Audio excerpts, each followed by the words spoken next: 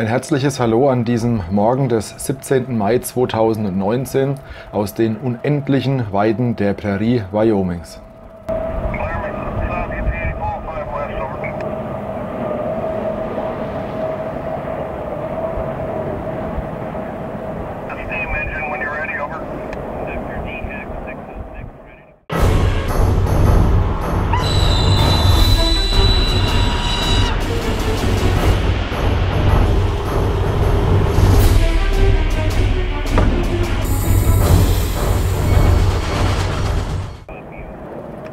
Dieser letzte Tag der Reise in die USA 2019 führte von Douglas am Südende des Powder River Basins gelegen in Wyoming nach Denver in Colorado. Am Vortag haben wir nördlich von Douglas im Powder River Basin die extrem langen Kohlezüge und Leerzüge beobachtet, die das schwarze Gold aus der Erde Wyomings zu den Kraftwerken fahren, wo die Kohle dann verstromt wird. Dieser westfahrende Zug mit seinen Sattelaufliegern und Containern wird geführt von einer SD70AC, einer AC6044 und einer General Electric AC4400. Die mittlere Lok, die AC6000, 44. Das ist eine besondere Lokomotive. Es gab in den 1990er Jahren ein sogenanntes Horsepower Race. Da versuchten die beiden großen amerikanischen Lokhersteller, sich gegenseitig mit PS-Leistungen zu überbieten und in Bereiche vorzudringen, dass man die bisherigen Dreifachbespannungen durch eine Doppeltraktion ersetzen konnte. Die Motoren waren zu diesem Zeitpunkt noch nicht ausgereift, deswegen wurde das Chassis der Lokomotive so vorbereitet, dass zu einem späteren Zeitpunkt der damals gängige 4400 PS 16-Zylinder-Motor durch den 6000 PS leistenden 16-Zylinder-Motor getauscht werden konnte. Das Ganze ohne großen Aufwand. Es gibt noch einige Lokomotiven, die so rumfahren, also das Chassis für 6000 PS ausgelegt, aber nur ein 4400 PS Herz drinnen, denn es wurden kaum oder gar keine Lokomotiven später remotorisiert. Dieser Tag war der Tag, an dem der Big Boy der Union Pacific, die Lok 4014 und die 2D2 Northern der Union Pacific, die Lok 844, von den Feierlichkeiten in Ogden, Utah, wieder an ihre Heimatbasis in Cheyenne, Wyoming zurückkehren sollten. Wir legten unsere Route entsprechend dem vorher veröffentlichten Fahrplan der Union Pacific, um nochmals ein Zusammentreffen zwischen uns und den beiden riesigen Dampflokomotiven zu ermöglichen.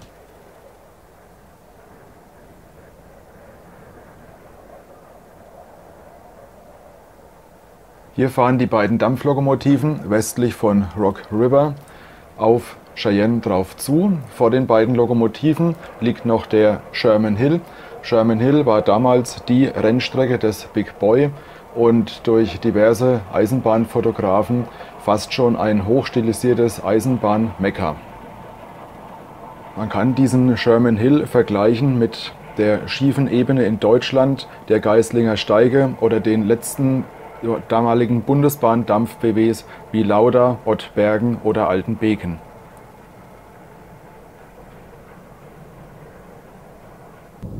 In zweiter Reihe hinter den Dampflokomotiven läuft die obligatorische Diesellokomotive mit. Das ist bei allen dampfgeführten Zügen auf den US-Hauptstrecken so, denn es gibt eine Richtlinie, die besagt, dass ein Zug dynamische Bremsen haben muss. Die Dampflokomotiven haben technisch bedingt keine dynamischen Bremsen, deswegen wird immer eine Diesellokomotive eingestellt, um diese dynamische Bremskraft liefern zu können und zeitgleich, um im Falle eines Breakdowns der Dampflokomotive oder in diesem Fall der Dampflokomotiven noch etwas Zugkraft zur Verfügung zu stellen, um notfalls die extrem wichtige, bedeutende transkontinentale Hauptstrecke räumen zu können.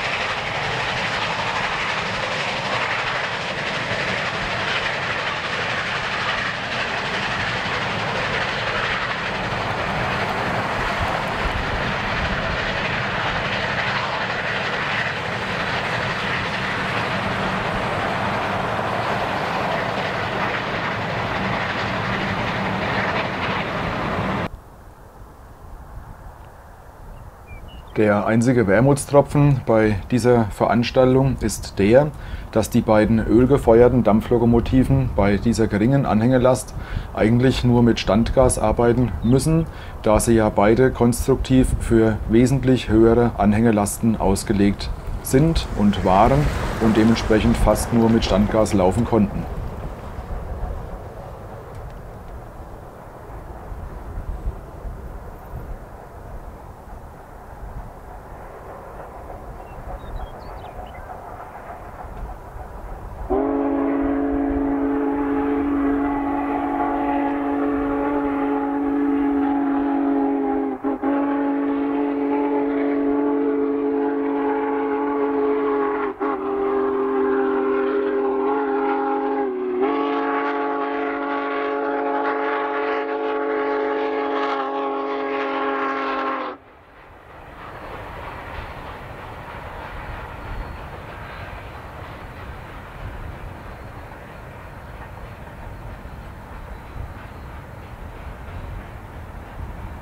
Hinter jedem eigentlichen Tender der Dampflokomotive, das ist der schwarze, wird noch ein zusätzlicher gelber Zusatztender für Wasservorrat geführt.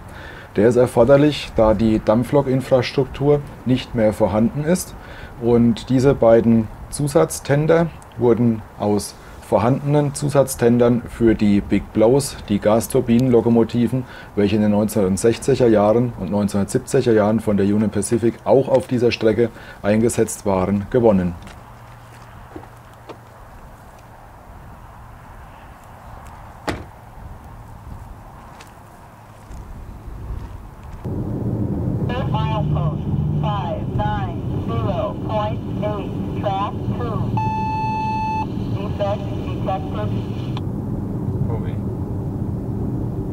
Ein in den USA frei verkäuflicher und frei benutzbarer zugelassener Funkscanner half uns Informationen, die von Hotbox-Detektoren oder Defektdetektors gesendet wurden, zu verarbeiten und Züge zu lokalisieren, ebenso wie den Sprechfunk der Zugpersonale mitzuhören und versuchen zu verstehen oder zu deuten, was dort gesprochen wurde, um daraus Informationen über den Zuglauf zu erhalten.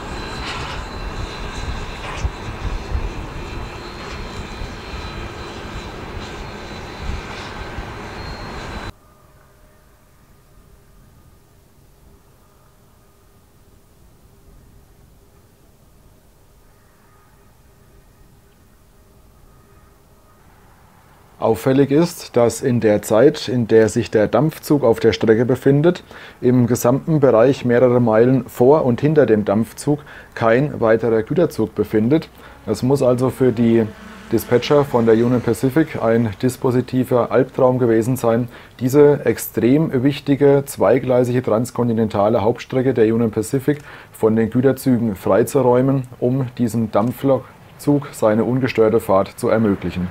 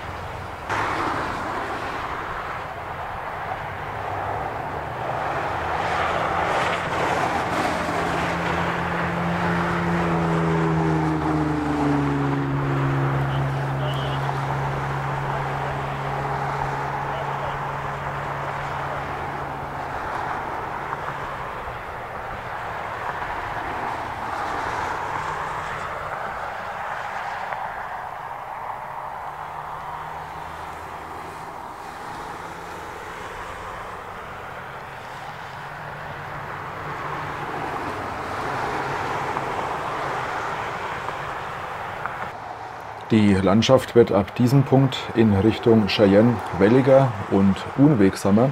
Deswegen mussten wir hier die Verfolgung des Verdampfzuges abbrechen und haben uns dann auf den Weg gemacht in Richtung dem Ames Monument.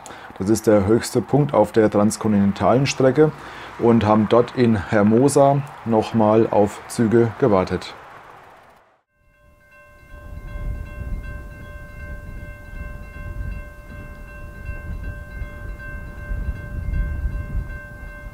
Hermosa, hier am westlichen Ende des sogenannten Sherman Hills gelegen, bildet den höchsten Punkt der transkontinentalen Eisenbahnstrecke der Union Pacific und befindet sich auf einer Höhe von fast 2.500 Meter über Meer, was sich zusammen mit dem geringen Jahresniederschlag an dem spärlichen Bewuchs und an der, an der fast baumfreien Vegetation deutlich macht.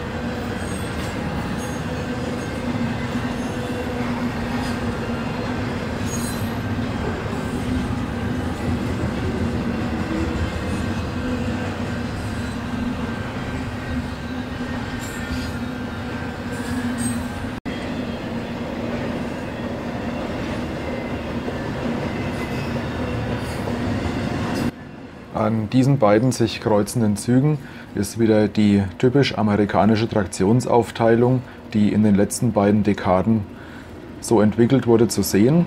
Und zwar werden je nach Bedarf an der Spitze des Zuges und dann entweder in der Mitte oder am Schluss des Zuges zusätzliche Lokomotiven angehangen, um den Zug sicher über die Strecke zu bringen. Diese Lokomotiven in der Mitte oder am Schluss des Zuges werden alle bis auf ganz wenige Strecken, wo diese Lokomotiven nur zusätzlich als Schiebelokomotiven in den Zug reingehen, unbemannt per Funkfernsteuerung von der vorderen Lokomotive aus gesteuert. Und diese Funkfernsteuerung sind so weit entwickelt, dass der Lokführer von der vorderen Lokomotive aus festlegen kann, ob die hintere Lokomotive in derselben Fahrstufe laufen soll oder in einer anderen Fahrstufe als die führenden Lokomotiven oder sogar ob die Lokomotive am Zugschluss in der Mitte des Zuges bremsen soll, während die vorderen Lokomotiven noch den Zug auf Spannung halten. Dies ist zum Teil notwendig, um diesen riesigen Slack-Action, dieses Pufferspiel der Mittelpufferkupplung aus den Zügen rauszubringen und um in diesen welligen Streckenprofilen den Zug einigermaßen gespannt zu halten und die Züge so vor dem Entgleisen und die Fracht vor dem Beschädigen zu schützen. Der einsetzende Regen in Verbindung mit einem strammen Wind und der schlechte Straßenzustand auf dem Sherman Hill haben uns dann runter nach Cheyenne getrieben und dort in Cheyenne an der westlichen Bahnhofseinfahrt ist ein großer Bahnübergang. An dem hielten wir uns dann nochmals auf. Und dort gab es einiges zu sehen, nämlich unter anderem, dass die Züge sich vor der Einfahrt gestaut haben und der Bahnübergang dort für mehr als eine halbe Stunde am Stück blockiert war. Diese halbe Weiche, die gar keine ist, das ist eigentlich eine Gleissperre mit Auswurffunktion, ähnlich der Gleissperre in Deutschland, nur anders umgesetzt. Das D steht für Derail, ähnlich dem Gleissperrensignal. Und dann sind dort die Gleise beschriftet, um Verwechslungen des Wartungspersonals auszuschließen.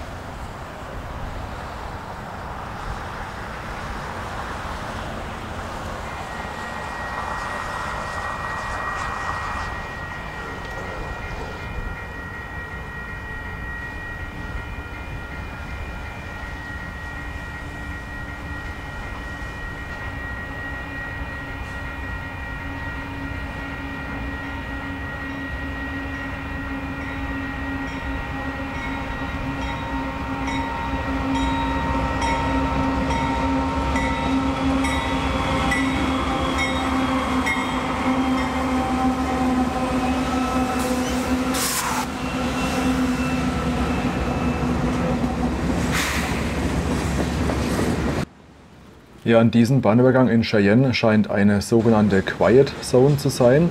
Das ist ein Bereich, in dem die Zugpersonale angewiesen sind, entgegen der sonstigen landesweit üblichen Vorschrift vor den Bahnübergängen nicht zu hupen, sondern hier wurde festgelegt, zusammen mit der Gemeinde, um die Anwohner vor Lärmbelästigung zu schützen, dass auf das Hupen vor den Bahnübergängen verzichtet werden muss.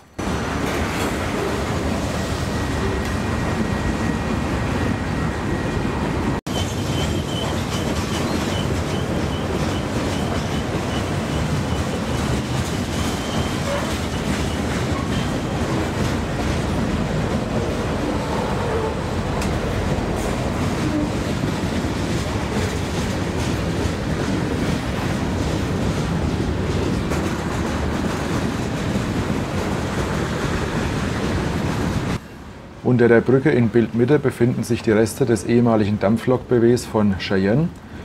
In diesem Gebäude ist aktuell das Union Pacific Historic Steam äh, Chapter untergebracht, wo Big Boy und 844 und der Challenger 3985 beheimatet sind.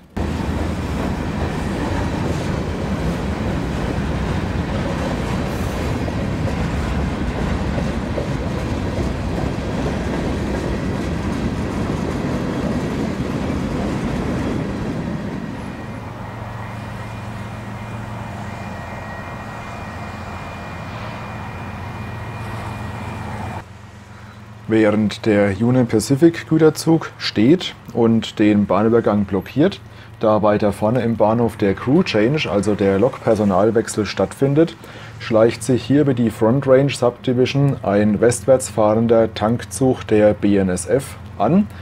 Die dritte Lokomotive im Bunde, das ist eine AC 4400 aus Kanada von Canadian National.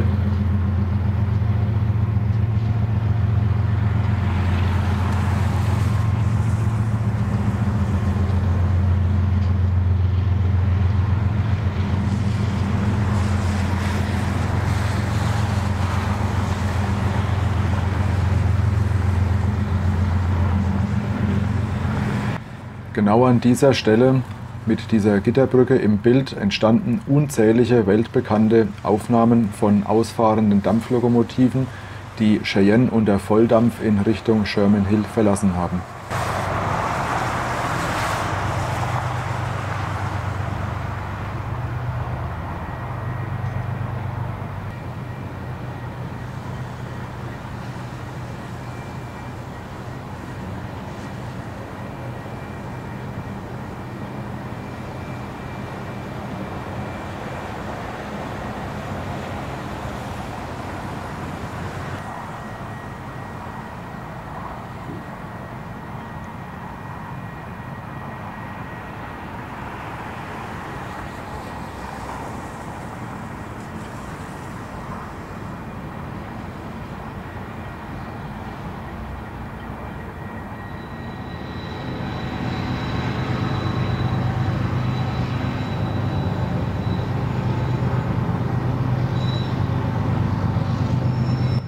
Gemäß US-amerikanischer Zugbildungsvorschrift müssen zwischen Lokomotiven, die mit Personal besetzt sein könnten, und Wagen mit Gefahrgut eine bestimmte Anzahl von Schutzwagen eingestellt werden.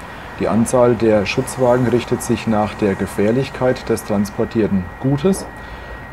So wurde es hier auch gemacht. Hier ist ein Getreidewagen eingestellt, bevor dann die Schlusslokomotive, eine General Electric ES44AC, kommt die diesem Zug die nötige Unterstützung am Zugschluss gibt.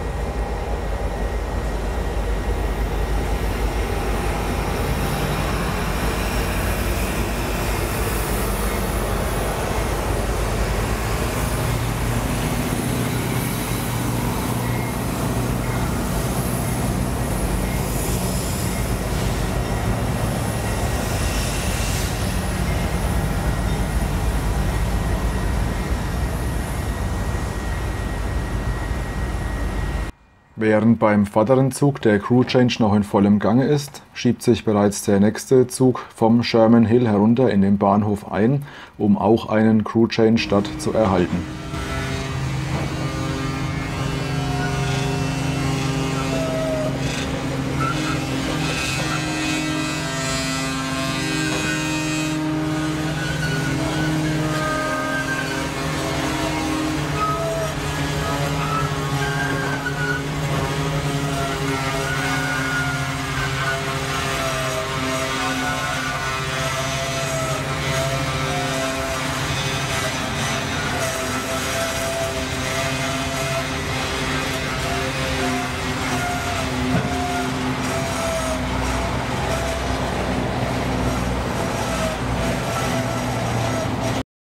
Die noch schleifenden Bremsbeläge an dem Ostfahrer hören sich an, als ob der Güterzug erst widerwillig wieder Fahrt aufnimmt, nachdem der Crew Change vollendet ist.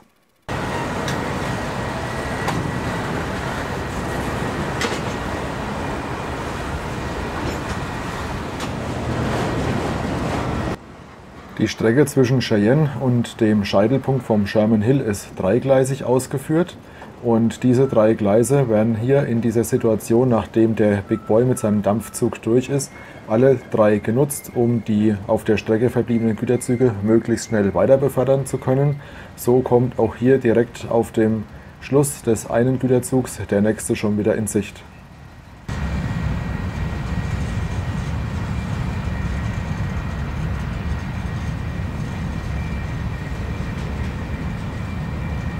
Den Aufzeichnungen aus meinem Reisetagebuch nach war die Schranke nun fast für eine halbe Stunde am Stück geschlossen gewesen. Die Autofahrer und ich, wir hielten das in stoischer Geduld aus. Ich möchte mich nun bei allen, die diese Reise mitgemacht haben, bedanken. Für alle, die diese Teile noch nicht komplett gesehen haben, schaut mal in meinem Kanal, da gibt es die Playlist Eisenbahn USA. Da sind alle Folgen von diesem Urlaub in 2019 mit drin dabei. Für alle, die den Kanal noch nicht abonniert haben, macht das bitte. Wenn euch das Video gefallen hat, drückt auf Like. Ich freue mich drüber, der YouTube-Algorithmus sowieso. Macht's gut und bis zum nächsten Mal. Euer Alex E. Servus.